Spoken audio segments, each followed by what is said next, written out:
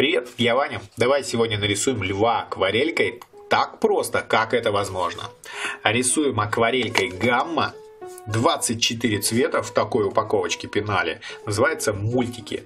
Яркая, сочная медовая акварель достается. И вот так получается у нас 24 цвета. Можно складывать, можно на пенальчике смешивать цвета. Мне это нравится и очень мало места занимает в портфеле. А, берем кисточку и лучше взять толстую кисточку и воду. Макаем в воду и берем желтую краску, желтую краску, желтую краску. И рисуем тело льва. Вот такое тело. Самое основное это тело льва. Оно большое, но не очень такое большое, такой прямоугольничек мы его нарисовали.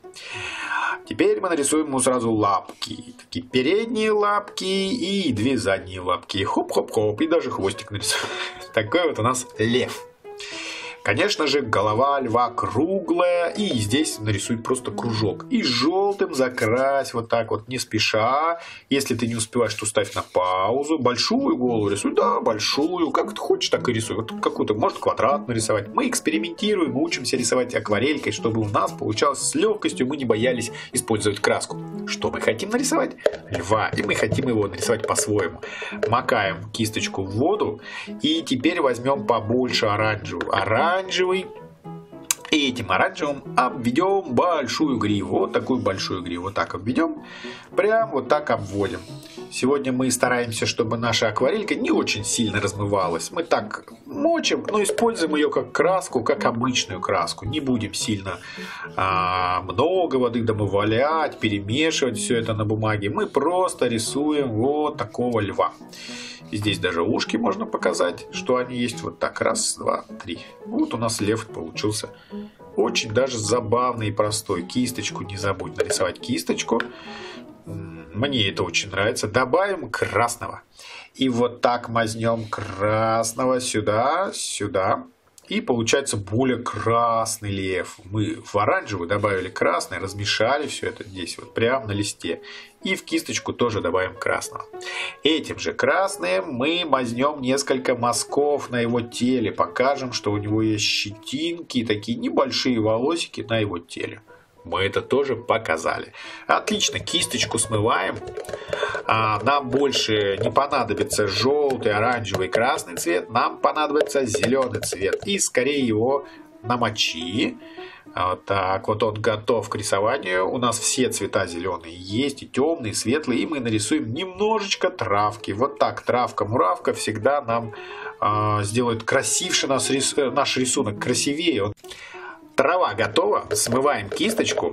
Толстая кисточка нам больше не понадобится. Понадобится немножечко тоненькой кисточки. Возьми самую тоненькую кисточку, какая у тебя есть, и теперь мы будем рисовать ей.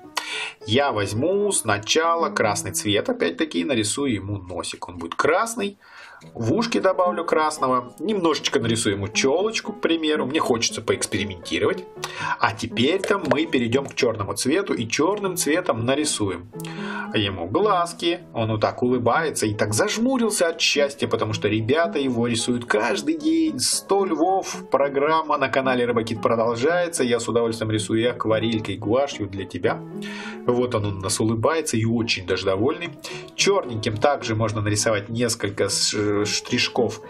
А, вот так вот волосики. Стараемся повторить волосики по форме, что они в разные стороны расходят. И также нарисую несколько а, таких коготков нашему льву.